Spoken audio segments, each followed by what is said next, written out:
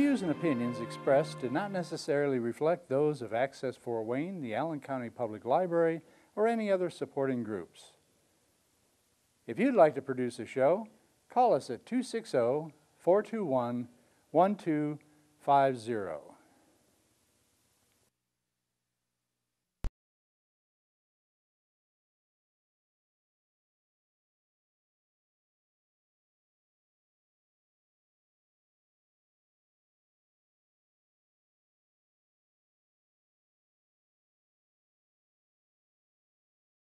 Hi, uh, welcome to For Destiny, a program putting a face on child abuse and lingering impact of child abuse.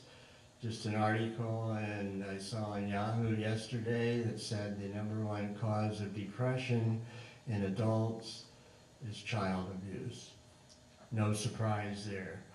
Uh, also, the United States has one of the highest rates of child abuse in the developed world, uh, which is a shameful statistic. And today we'll have uh, beautiful music from Filthy Rags. Thank you very much. And uh, then we will have a lecture from Jana from uh, the uh, Board of Health on uh, the difficulties in reporting child abuse that medical professionals have, obstacles they encounter.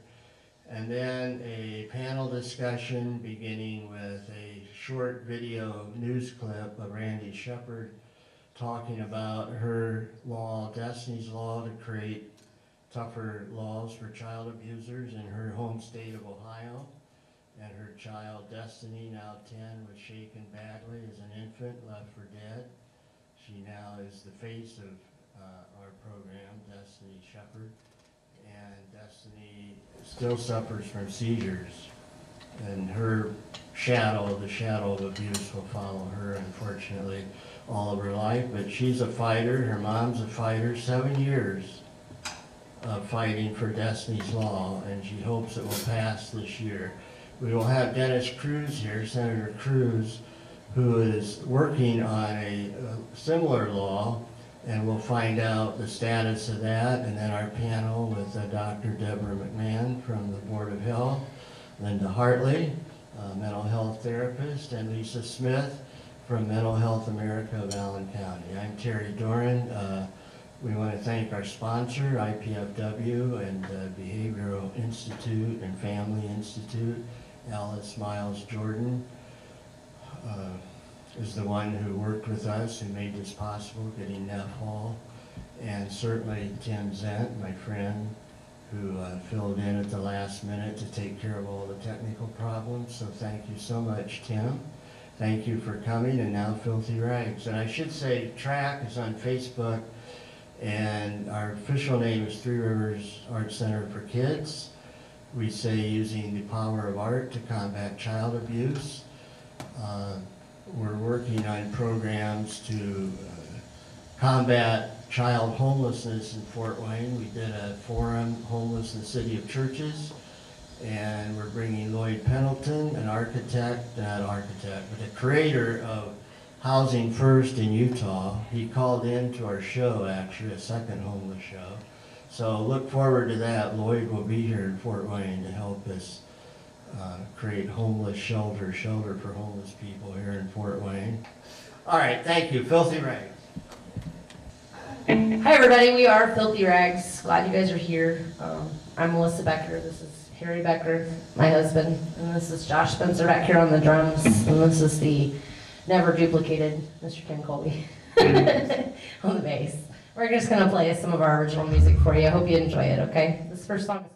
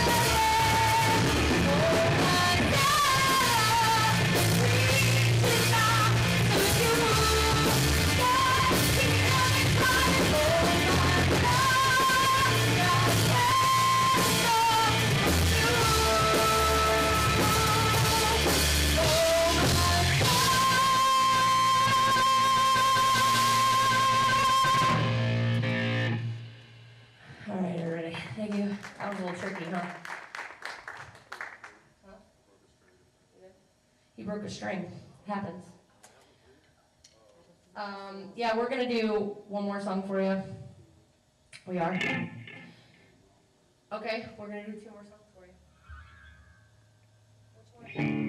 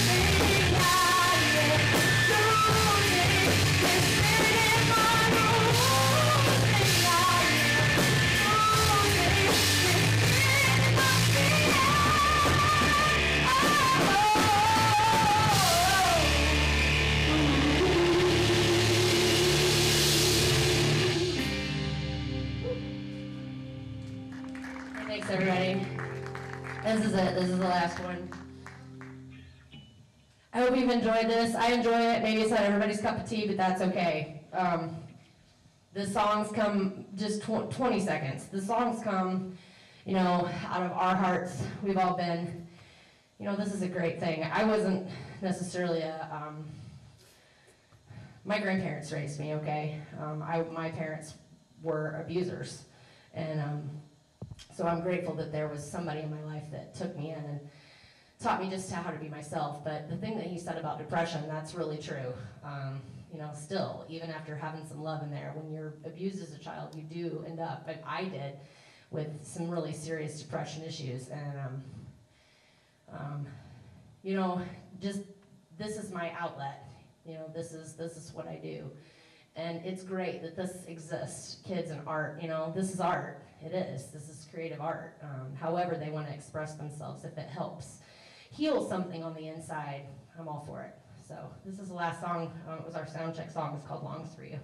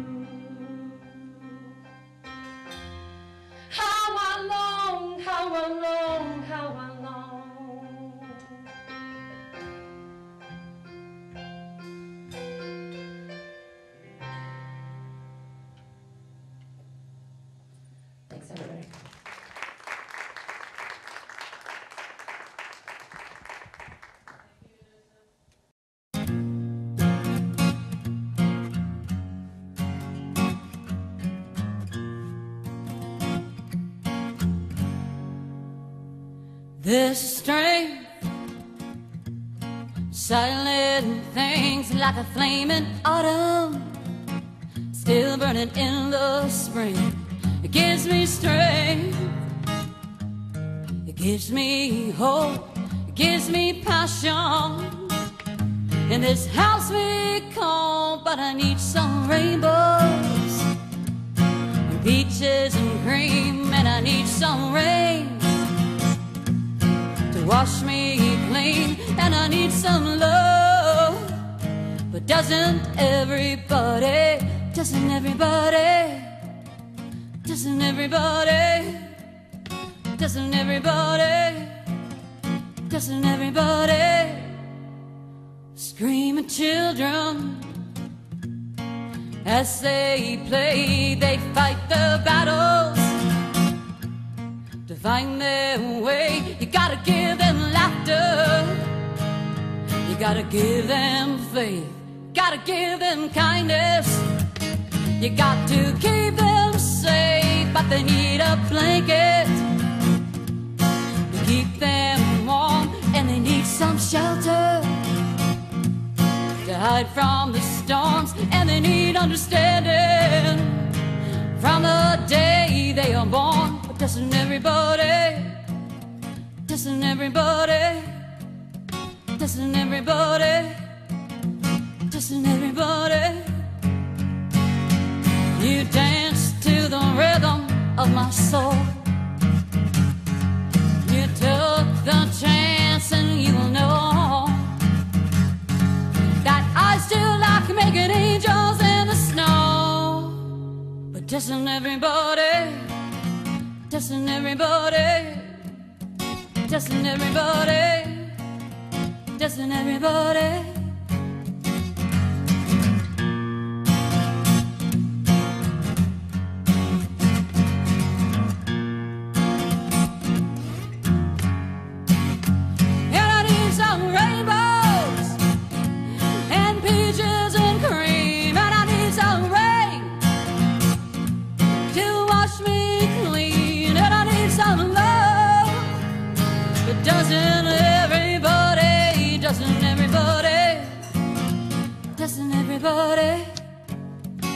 Doesn't everybody, doesn't everybody, doesn't everybody, doesn't everybody?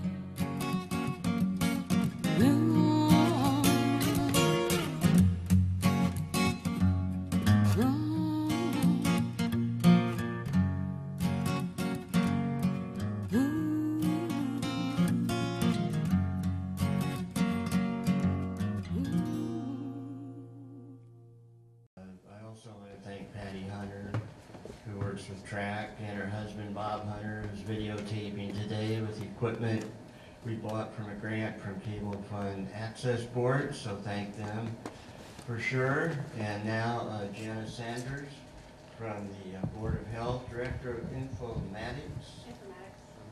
You can tell us what that is. Uh, And as I said earlier, she's going to talk about the obstacles mental health, uh, medical professionals especially face when trying to report child. As you said, my name is Jana Sanders. I'm the Director of Informatics for the Fort Wayne Allen County Department of Health. Informatics is the study of data and information. So along with doing the general IT for the department, I also do the study of the data and um, part of my role is doing a lot of uh, research studies also. So this is one of the research studies that we were able to conduct. Part of our research team, this was a collaboration between the Department of Health and the Fort Wayne Medical Education Program. So Dr. Meg Wilson, who's the Director of Research at the Fort Wayne Medical Education Program, Dr. McMahan was also part of the study, as well was two residents within the residency, Drs. Grinnell and Drs. Tanner. They have both since graduated the program. The study was originally done in 2013. Literature frequently refers to abuse and neglect as child maltreatment. Child maltreatment is found across all different social economic scales and um, races. The definition of child maltreatment varies from state to state. However, federally, it is defined as any act or failure to that results in imminent risk or serious harm to a child.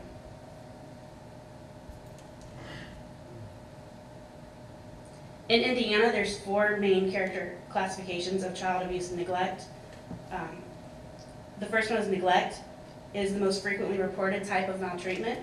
It's failure to take care of or give attention to, to provide the necessities to the point where the child's health and safety and well-being are threatened. And it's the most lethal form of abuse or in, uh, child maltreatment.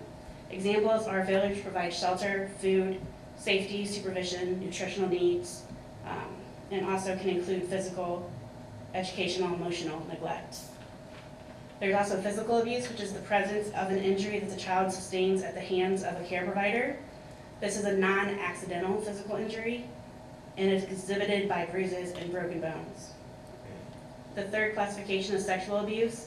It's the utilization of a child for sexual gratification, either by an adult, another child, or a position in power. And it's also um, can be allowing someone else to do that. The fourth classification is emotional neglect. It's the chronic attitude or act of a caregiver that is detrimental to the child's development. Most oftenly, most often it's expressed as a verbal abuse. And it's usually indicated and observed through substantial change in behavior or emo- emotional response or thought. In the United States, more than five children die every year as a result of maltreatment. Of those that die, about 80% of them are under the age of three years old. This is an alarming fact.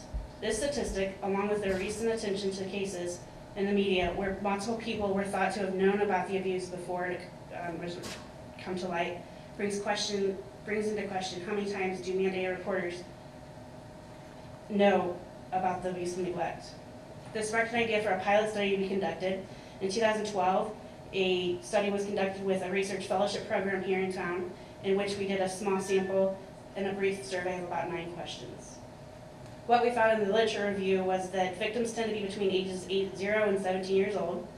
Uh, all these rates that I will describe right here is per thousand um, population. And the national, an important thing to know about these stats is national data is unique victims. So this isn't um, cases that reported more than once or children that were abused more than once. That differs from the Indiana and Allen County statistics because that doesn't indicate if it's uh, repeated abuse cases or not. So if you look, in 2009, the national average was 9.4, Indiana was 15.6, and Allen County was 11.5. So Indiana had a higher rate, while Allen County um, was lower than Indiana, but still higher than the national. In 2011, you see there was a drastic difference in Allen County in which there was a reduction of 3.9, in which 7.6 cases per thousand people. Indiana, this, there was also a drop, where the national was a little bit more consistent. Since 1994, cases have dropped substantially, um, when in 1994, the cases were about 15 per thousand. So it leads to the question, what changed over time? Um, why such the drop in the number of cases? Is it better, um, is it, is it less abuse? Is it better um, reporting, or is it a lack of reporting? Indiana Code Title 31, Article 33, Chapter 5 establishes the rules for who is required to report. Um, Looking closely at this, uh, any individual who believes a child has been a victim of abuse or neglect is required by Indiana Code to report. Um, And this is, the key point to keep in mind here is that it's anyone that suspects child abuse or neglect is required to report. You don't have to be able to prove it, you just have to suspect it. And the intent of this code is that you're doing it in the best interest of the child and it's not malicious.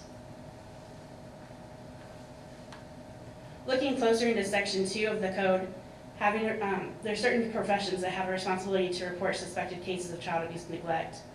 These are refer- referred to as mandated reporters as a result of their profession. Specifically, medical, public or private institutions, school facility, or agency shall notify supervisor who is then required to file a report with the Department of Children's Services.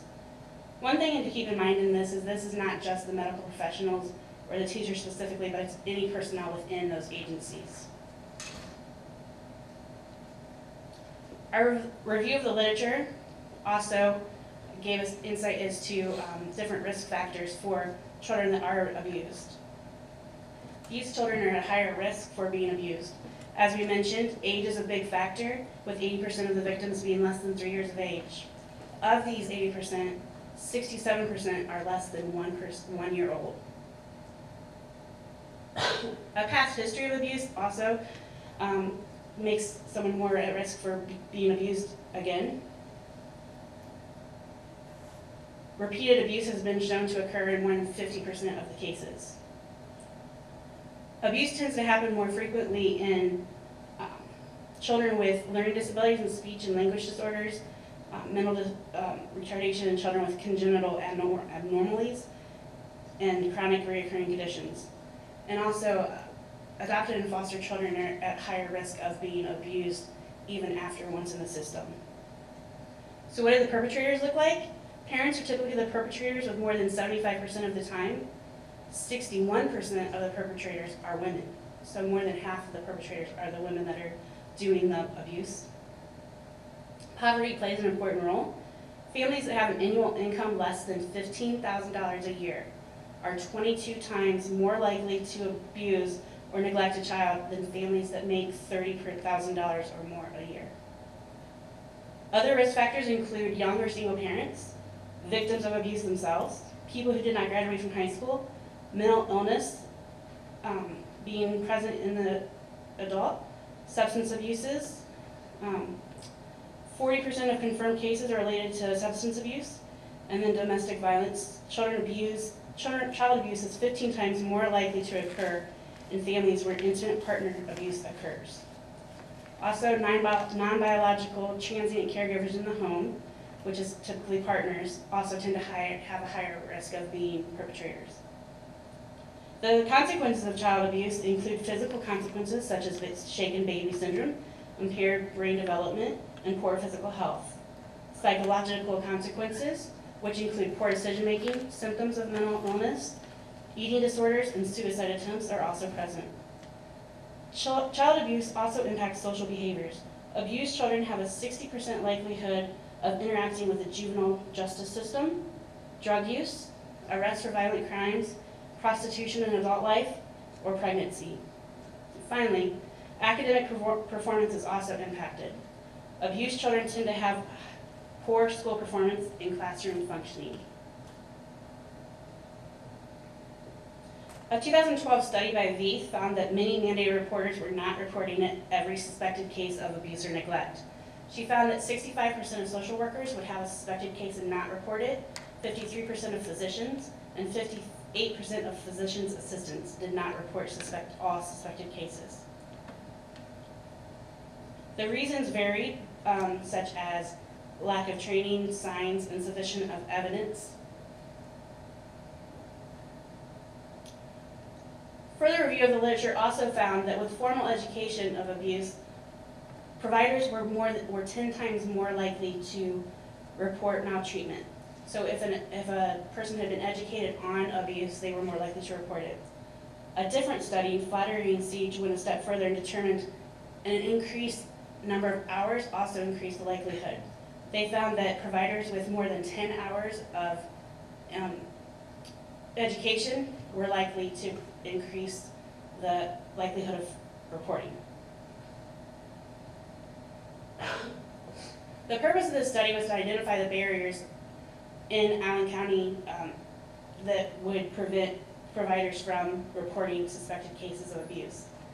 We're hoping to, the study would provide valuable information, understanding, and insight into the complexity situation of child abuse neglect, and help direct educational interventions so that the reporting could increase. These are a few of our research questions.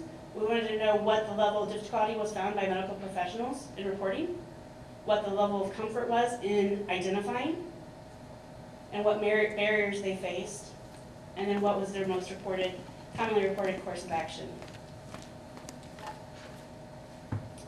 Our methodology of our study, we had a questionnaire that we um, evaluated with both SCAN and the directors of, uh, the SCAN director and two nurses from community nursing at Parkview, as well as the research team. We had a 22 item survey. Um, we had a 22 item question survey that we sent out to medical professionals who uh, saw children at some point in their practice.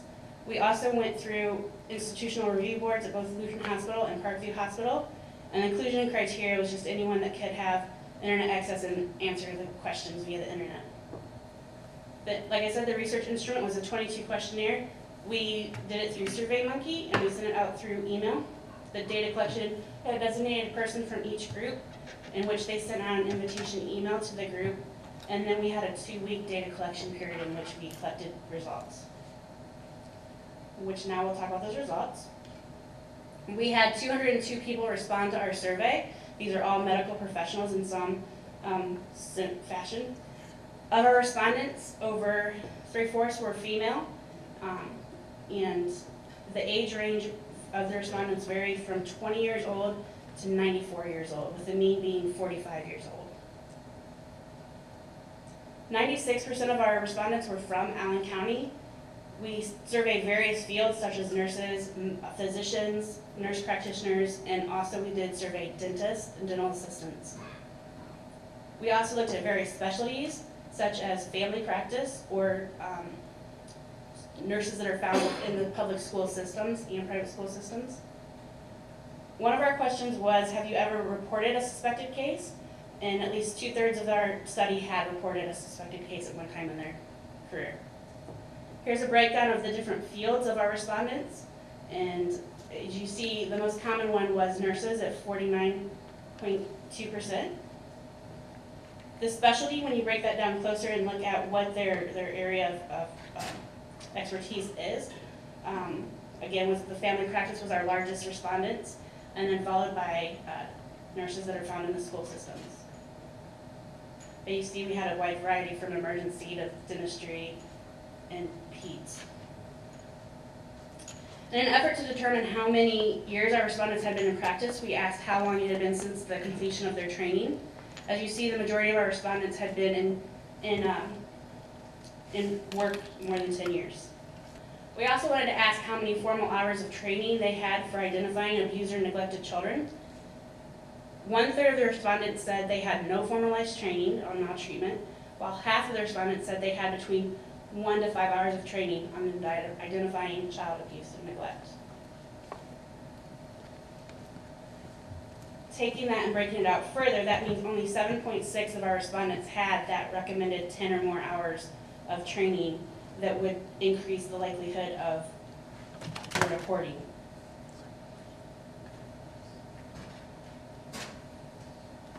We then asked if you suspected abuse of, abuse, a case of abuse or neglect, would you, how would you re- report it?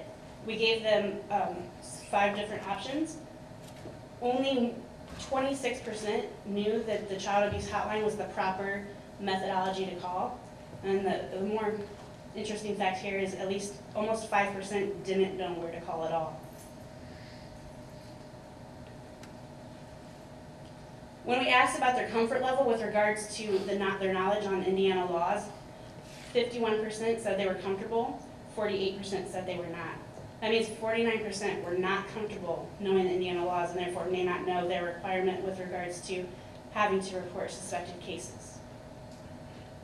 We also then asked, in terms of difficulty, how difficult do you find it identifying a case of child abuse or a suspected case of child abuse or neglect? And here's our breakdown. You see that um, 4.5% found identifying a child abuse or neglect either very easy or easy. That meant 40%, 46% found it either difficult or very difficult. We then assessed how they, um, how comfortable they were reporting a case if they had identified one. Um, we, we grouped this together with the different um, classifications. You see across the board, people were more than 80% comfortable in reporting a case once they had suspected it. We then asked what types of abuse and neglect people had seen in their practice within the, within the last year. And not surprisingly, neglect was the most commonly identified form of abuse or neglect. Emotional was second, and then physical was third. Mm, Sexual abuse was the least prominent. We wanted to try to assess the attitudes towards reporting, and so we asked a situational question with regards to how, how certain would you have to be that a case of child abuse or neglect occurred before you reported it? And this is their response. Um, the sidebar is in, the number of people that responded, and then the bottom is how certain they were with 100% being completely certain it occurred, and zero being no possibility it occurred. And so as you see, 70% of the respondents replied that they would need to be 50% or higher before they had reasonable suspicion that would prompt them to report. Um, that goes against the, the current court ordinance of the law and the fact that if there's any suspension, once you're at that 10%, all of those people should be reporting. We also asked another situational question in which the practitioner would have um, suspicion, suspicion that child abuse or neglect occurred, but there were other possible causes, what their course of action would be. We gave them four options. We gave them the option to treat the condition and inform the parents or not inform the parents, or treat the other condition. So 33%, 33.5% said they would treat the other condition and not inform the parents. 27% said they would treat the condition and inform the parents. 23% said they would report it, not inform. And 15.9 said they would report and tell the care providers. Again, the, that's over 50% that would treat the condition. There's, this is an implied suspicion of abuse. Over 50% would treat the other, treat the other condition and not report it, which again, this is the classification that it should be reported we wanted to break that down and look closely at the variables in those, that situation. So when I looked at the, the treating versus the reporting, sixty-one percent would treat it versus report it. When we looked at the tough conversational piece of informing the care provider of the suspicions of child abuse or neglect, we found that 43 per, 30, 43% would inform the care provider, which means over half of them would not inform the care provider. So that discussion of um, the potential uh, intervention is not occurring at this point. We also asked the providers if feedback from Child Protective Services was important to them clinically in making determination um, uh, or caring for their patient. And 96% said yes. We were very surprised at that. It was such a large number found it clinically important to know their outcome of their um, report with DCS. Excuse me. We then gave them seven potential barriers that might prohibit them from reporting a suspected case of abuse or neglect. These are all the different options that we gave, and this is just to show you the dramatic um, results of the outcomes. What we're going to do now is look at the top five, which is the top 30, 30% or more identified these. Now, every provider could identify every single one of those barriers if it applied to them. Um, so 90, 69% said lack of certainty was their primary barrier in not reporting a case of child abuse or neglect. Fear of th- making things worse for the child was found in almost 50%. The lack of follow-up or feedback from CPS was found in 35%. And uncertainty of the reporting procedures was identified in 32%. And then the big one was the fear of lack of anonymity from DCS or the parents, so potentially impacting their business. From the results of our study, we feel that medical professionals need formalized education on all issues related to child abuse and neglect, including signs and symptoms of how to report, as many healthcare providers are unaware of the correct procedures and the number to call to report a suspected case of abuse and neglect. Remember our study showed that 70% had to be at least 50% certain and had it ranked in the top five of a, different, of a differential diagnosis. Um, however, by law, they were all supposed to report the cases if suspected. So why don't providers share their concerns? We need to teach providers how to have the difficult discussions with the parents when the issues they've seen arise. They may be, they may be the only point of contact in which the, the child could be identified. Clinical decision-making related to suspected child abuse and neglect could be improved with increased communication and feedback from Child Protective Services. Child Protective Services must address the multiple barriers that exist as identified by medical professionals, professionals for effective reporting and suspected child abuse and neglect to occur. These include issues related to anonymity for reporters, the, the ability for them not to determine it was the physician that reported, report investigation, investigation follow-through, follow up with reporters regarding the investigations, and prioritizing reports made by medical professionals. Ninety-six percent wanted the feedback, so working together to give that is important.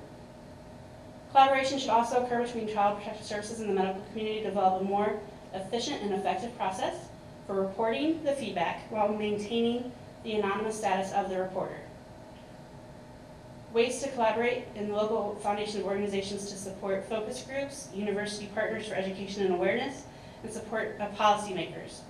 Uh, Recently, IU School of Medicine Child Protection Program, which is Dr. Roberta Hibbard, um, and the Indiana State Medical Association have been collaborating to work on creating online CME, which is continuing education credits, to provide providers more education on how to identify and um, report child abuse and neglect.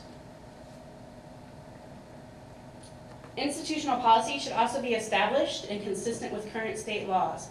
Additionally, policy should be written in clear and understandable language and reviewed routinely with all professionals involved in the care of children. So each organization should have a clearly stated policy that is understandable for their staff to know what the procedure is if they suspect a case of abuse or neglect. Further education delivered by multiple methods should be developed and offered to medical community on various topics including roles and responsibilities, identification of child abuse and neglect, and correct reporting procedures. Remember, only 7.6% identified that they had received more than 10 hours of education.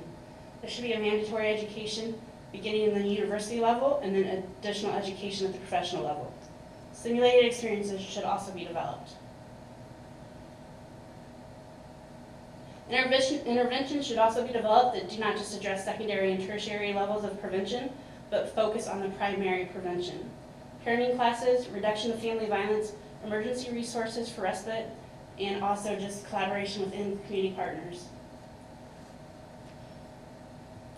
Our recommendations that resulted from the study is further research, research is needed. Uh, we had a relatively small sample size, so a larger sample size, including other groups such as teachers, daycare workers, child development workers, and first responders. All the people that come in contact with children in their daily interactions with their professions. Also, the examination of the risk factors that may predispose parents for family violence should be looked into more closely. And also a study of the relationship between the selected variables, the, the sex, the demographics, the level of training, and the level of difficulty or comfort for identifying and reporting the child abuse and neglect. The limitations we had within our study is that we had a moderate sample size. Our data collection timeframe was only two weeks, which may have prohibited um, from getting a large uh, number of respondents. Our limited geographic area, again, we focused primarily on Allen County and the um, groups associated with the hospital systems within this county. It's self-reported data. Self-reported data also always has limitations to it.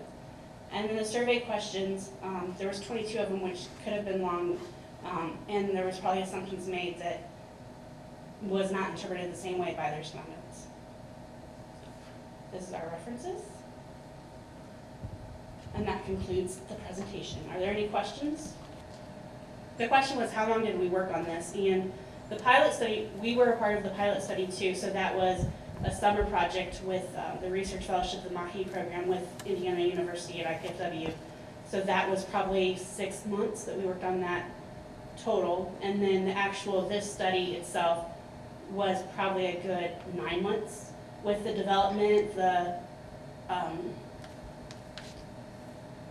IRB, the Institutional Review Board processes and getting that approval done, and then the analysis component.